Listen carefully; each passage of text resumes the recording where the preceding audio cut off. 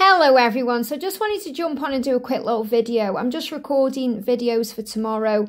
I can't use my arm. Okay, my frozen shoulder has affected my arm. It's ascension symptoms. It's because of what I'm connecting with, with the Divine Masculine Collective and other things. And I can't get ready for the camera. That's all it is. People have been emailing me and asking me if I'm okay. I'm absolutely fine. I've got plenty of energy. I want to get the job done, but I can't physically move my arm to dress properly or put my wig on or do my makeup to get ready for camera.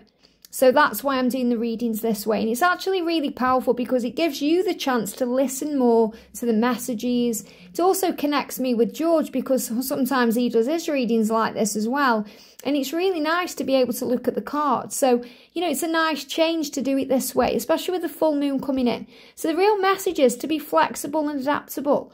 And don't see the bad in things. See it as an opportunity for the new, for change, for something more. And that's what I'm doing. So I may be in physical pain, but I'm excited about what I'm doing. I'm excited about the future.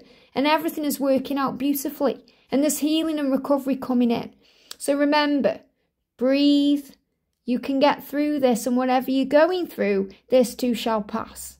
Have a great day, and I'll see you soon.